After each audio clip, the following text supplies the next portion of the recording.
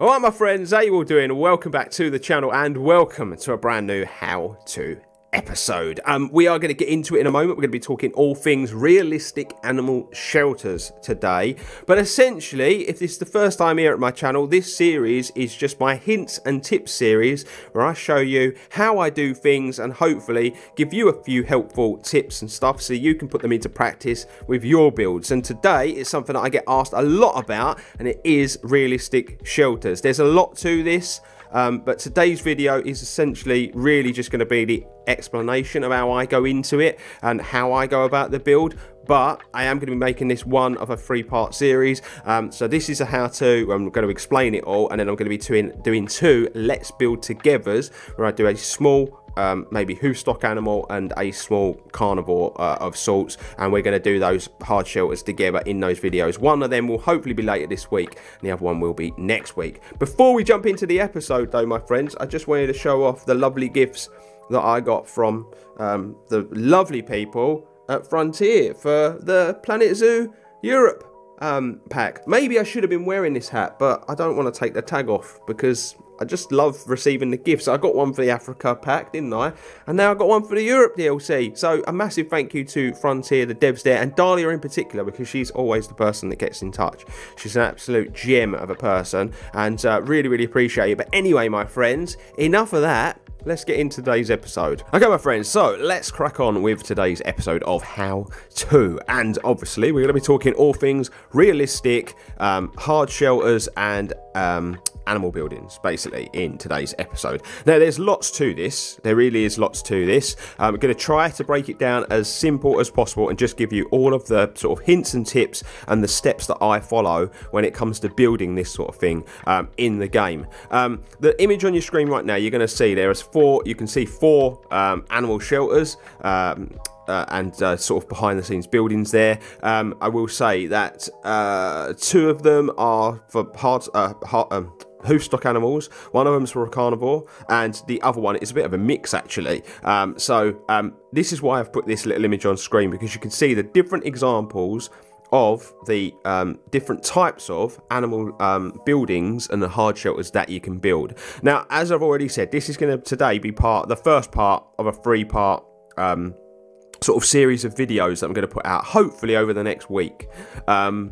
Because today I'm just going to give you the hints and tips and the steps that I follow and then we're going to do an example of a hoofstock animal and we're going to do an uh, example of a small carnivore animal. The reason I've chosen to do these is I can make them relatively small um, so that the build process is a little bit quicker but obviously do uh, keep an open mind. Do use your um, common sense that if you're building something for say a giraffe or an elephant it's going to need to be much much bigger. And the steps that i'm going to show you that i follow are probably going to be a bit more in depth and a bit more to it. So just keep that in mind that the bigger the animal the more is probably going to need to go into what you're doing. So I've given you some examples here on the screen. You can see how different each one of those buildings are. And the reason for that is every animal's needs are very, very different. And if we're talking about realism, even though it's just a game, you've got to think about the animal's needs. You've got to think about what it what it needs, um, how the zoo staff are going to be able to access said building and give the animal what it needs um, the easiest and best way possible.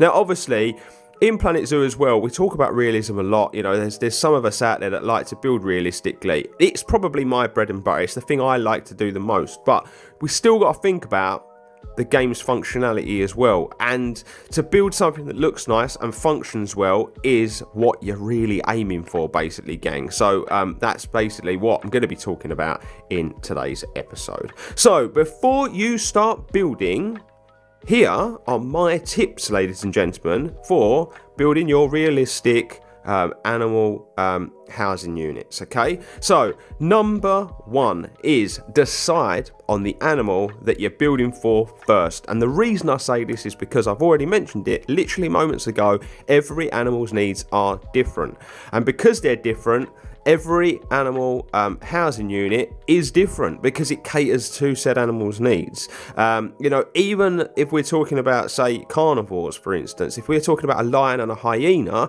you would think it'd be similar, but believe it or not, it, it's really not. There's there's lots to it. Um, lions need far more room.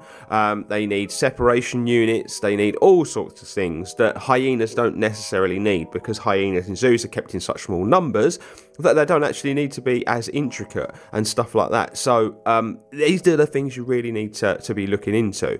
Animal numbers is a big thing, obviously, as well, because there are some animals that you're going to keep in huge, huge um, numbers. So your behind the scenes stuff might not need to be, uh, you know, might not need to worry about it. For instance, you know, like zoos that keep large numbers of deers, they don't even really bother having this sort of stuff. They just kind of let them roam, uh, you know, in open fields and things. Um, whereas an animal like a meerkat or an aardvark or whatever, they're going to need a habitat that's got den style uh, indoor areas that are warm with heat lamps. Um, aardvarks in particular are nocturnal animals, so they prefer darker um, dens and stuff like that as well to be built. So these are all the little things you need to consider. So I would say that choosing your animal first is the first thing.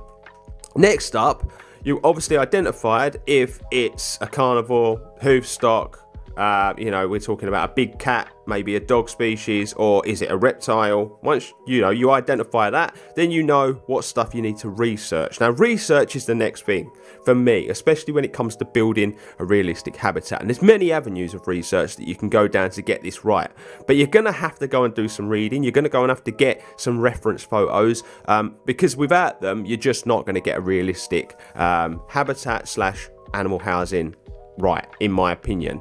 Now, I've said this before in some of the videos, there are a number of routes you can go down.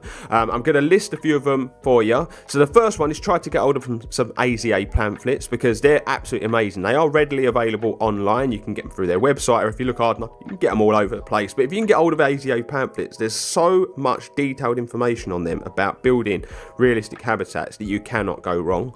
Um, so if you can get hold of them, they're absolutely amazing. Uh, if not, there's a a great website that I use, um, and this is great for photographs. Not so much uh, readable information, but for the for the photos, for the reference photos, I use a, a website called Zoolex, uh, and you can literally type in the animal or the zoo or whatever, and it'll bring up loads and loads of images, and it'll give you images of stuff from behind the scenes as well as up front uh, as well. Um, you can go on Google Images, literally go in Google, type in the animal, what you're looking for, and just you know filter through the images, maybe save some of those, and you can also use Google Maps maps. Um, you won't really be able to see the insides of the buildings, uh, you know, for this. For the inside, a site like Zoolex is perfect because there's loads of stuff on there. But if you're looking for examples of buildings like on the outside and that, Google Images and Google Maps are great. On Google Maps, I've said this loads of times, you can type in a zoo and drop the thing in the zoo on some zoos, and you can uh, walk around the zoo and you can have a really good look. Um,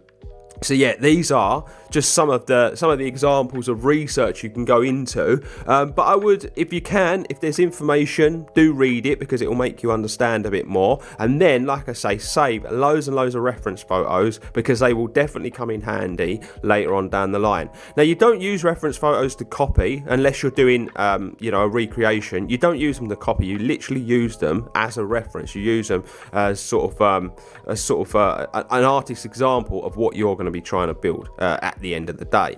So you've done, you've decided on your animal, you've got your research done, you've got your reference points. I guess now it's time to build, isn't it? Um, and that is the next thing we're going to go and talk about, ladies and gentlemen. So what I'm going to do is use the hyena habitat in Tropical Wings to kind of explain how I go about building uh, this sort of stuff uh, in my zoos, basically. Okay, so we've followed all those steps and we're now at that point where we're going to build. And I'm now going to give you my hints and tips on how I go about building it. Now you're going to see how I build this in the next two videos that I'm going to be putting out. Okay, I've already said I'm going to be putting those videos out because I want you to have the opportunity to build along with me so you can see how I do it. It's one thing for me to sit here and explain it and some people really like this. Some people really like things just being explained to them because there are some people out there that are actually very, very good builders. They're really creative, but they just get overwhelmed when they come to actually building stuff. They're actually amazing at the game. They just don't know how to go about it. So having some helpful tips and steps to follow is amazing for them.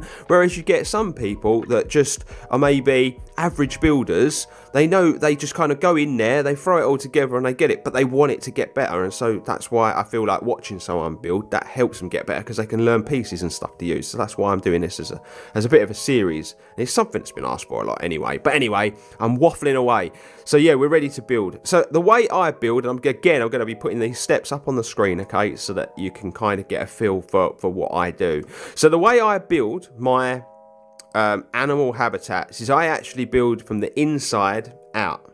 And that might sound strange, but it makes sense because you can get all your sizing inside correct before you stick your external walls on. Okay, so that's what I do. So let's just zoom on in to the hyena habitat. So, what I mean by inside out is any internal doors, windows, walls, any gates, any doors, um, all of that has to be done before I stick my internal walls on, okay? Because if you've done your research right, you'll know if you need airlocks. You'll know if you need windows to view animals before you enter the building. You'll know if you need um, heavy duty doors. You'll know if you need caged units. You'll know if you need all this stuff basically. If you've done your research correctly, you'll know exactly what you need.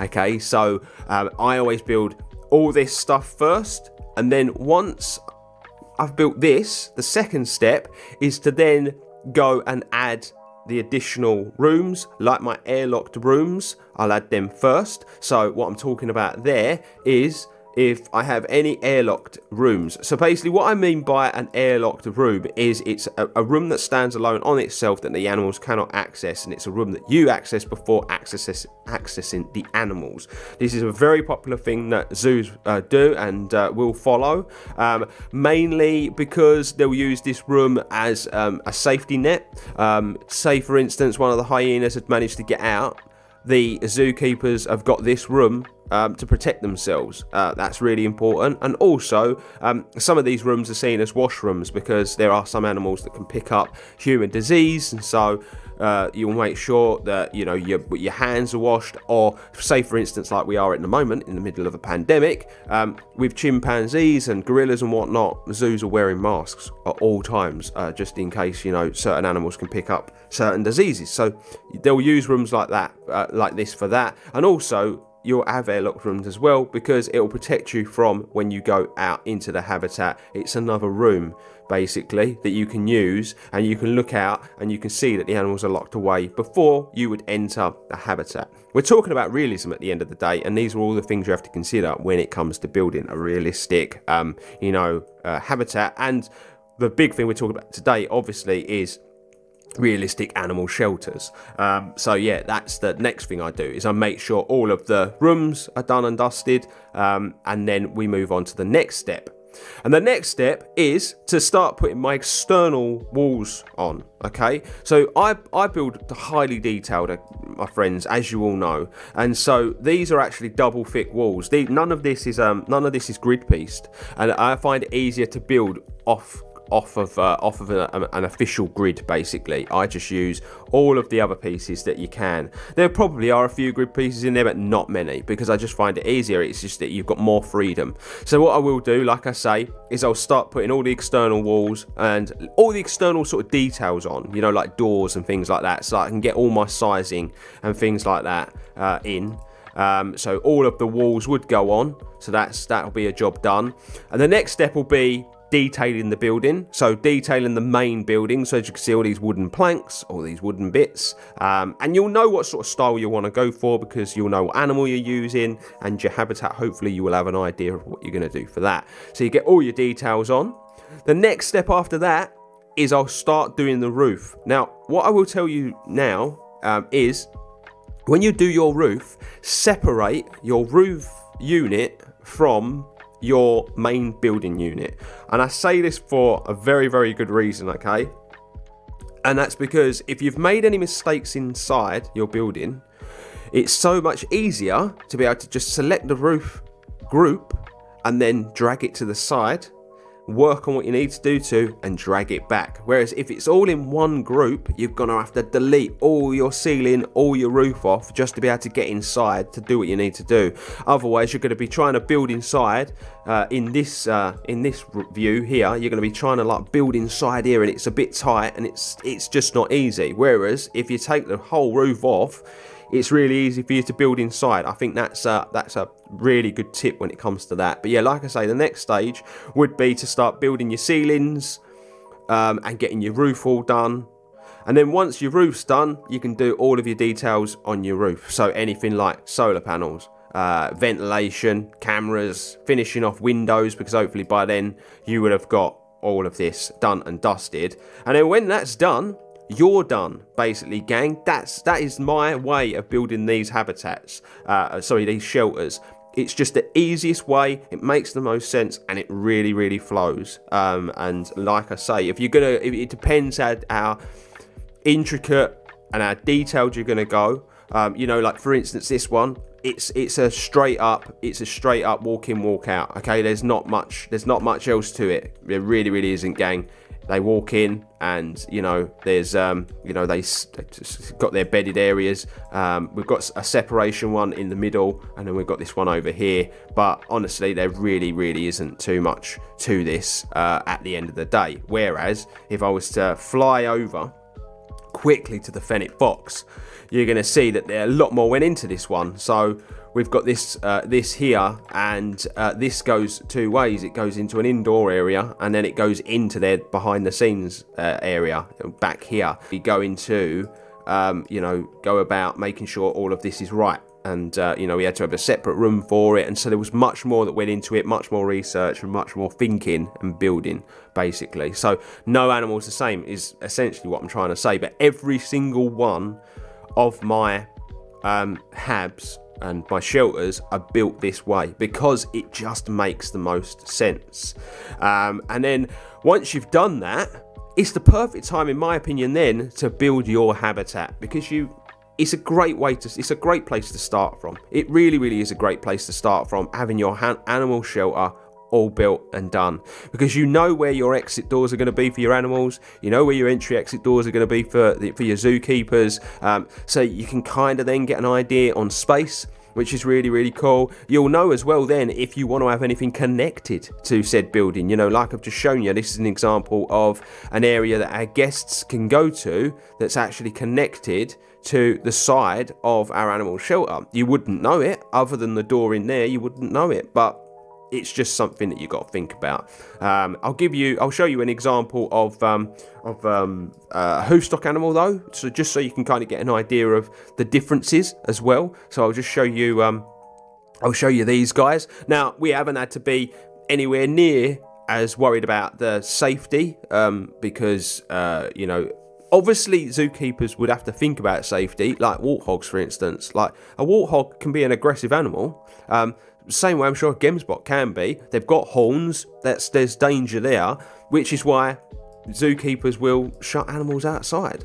Why they work, why they clean up. They don't really want the animals there. Whereas you'll get some animals you know, in zoos, like a tapir, for instance, that are like big puppy dogs. Um, and it's unbelievable. Still got to be safe, but zookeepers probably feel a bit safer around that sort of thing, especially animals that have been brought up in captivity because they're far more used to the zookeepers anyway. But um, anyway, to cut a long story short, you can see just how different this habitat is. And so my research has had to be different and my thought process has had to be different. What different things am I going to need? How the door's going to work? How big do these rooms need to be? Do I need more than one? Um, and all these little things. And that's why I, you know, was saying you need to decide on your animals first before moving on and you know just jumping in and building because you want to get that research done and you want to get all of that in place before really cracking on and trying to build you know, a realistic shelter. And that's the thing, we're talking about realism. If we were just talking about building animal shelters, I can show you how to make really basic animal shelter that would do the job in the game. But